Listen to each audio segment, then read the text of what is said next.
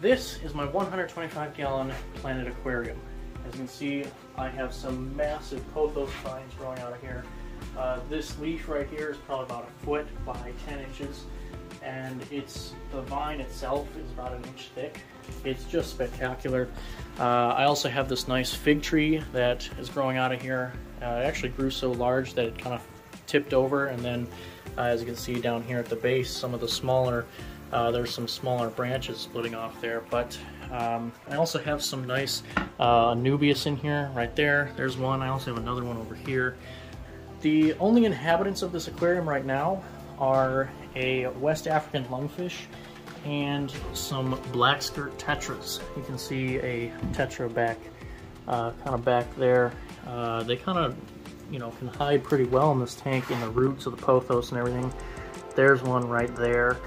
Uh, I also have one over here. Uh, I have six of them in here, but as I said, they kind of just hide all day. And uh, as you can also tell, this tank kind of needs a little splash of color, which is why today at the fish store I picked up a, a trio of opaline gouramis.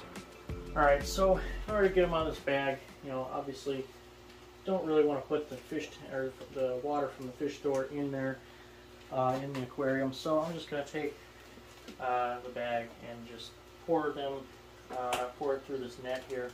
That should get all of them one scoop, and then I will transfer them to the tank.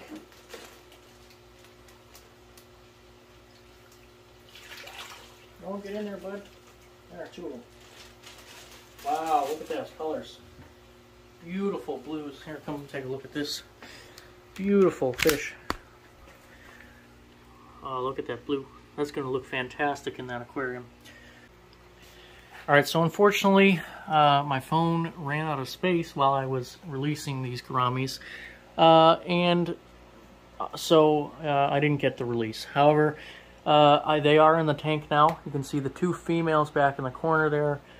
We also have the male somewhere in here. I just saw him swimming around in here, but yeah, they all look just fantastic in here, uh, and they're going to do great check him out. He's eating some brine shrimp. Look, he's already so comfortable in here.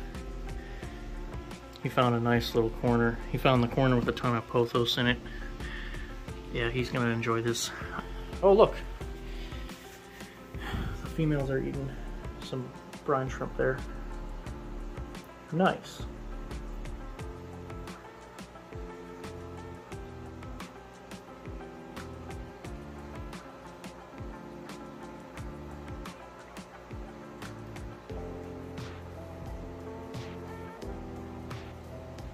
Yeah, they're already super comfortable in here.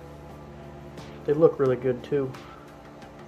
I actually think this one might be a male. It's a little darker. The dark ones are usually uh, males and the lighter ones are females.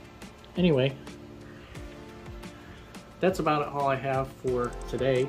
Uh, I will do an update on these fish for sure um, because yeah, I mean they look fantastic, but uh, I want to get something in here though to kind of clean it up a little bit because uh, right now I don't have too many cleaning or cleaner fish in here. Uh, I have the lungfish which is kind of a bottom dweller but he doesn't, uh, he kind of just lays there for most of the day so you know it is what it is. But uh, yeah this is a really cool tank and uh, I'm very glad that I get to share it with you. So thanks for watching. If you enjoyed this video like it and consider subscribing.